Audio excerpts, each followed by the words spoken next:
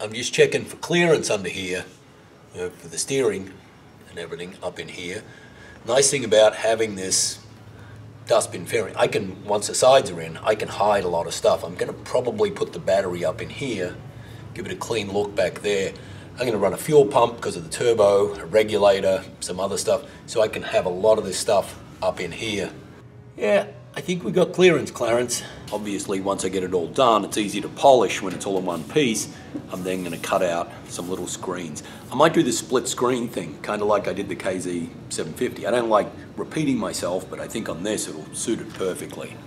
The other thing, I'm gonna recess a headlight in here.